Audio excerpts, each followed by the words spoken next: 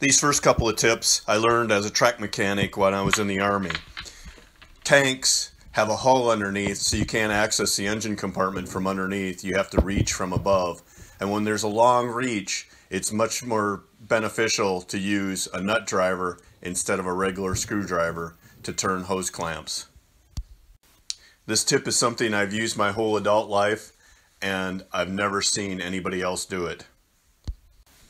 Everybody always grabs a screwdriver. This tip works on any hose clamp, but it's especially important on lower radiator hose clamps that are hard to get to.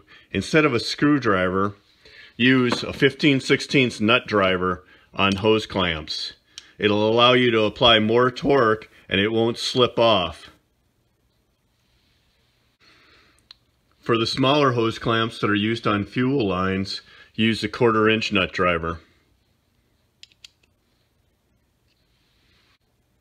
So a word of caution. If you're using regular hose clamps, you don't want to use a ratchet. Sometimes if it's hard to get to, you have to use a ratchet and a socket. Even a quarter inch ratchet applies too much force to a regular hose clamp. So if you have a heavy duty military style hose clamp on uh, some of these bigger hoses, then you can use a ratchet, but on just a regular radiator hose clamp, it'll come apart with too much torque. So that's the tip.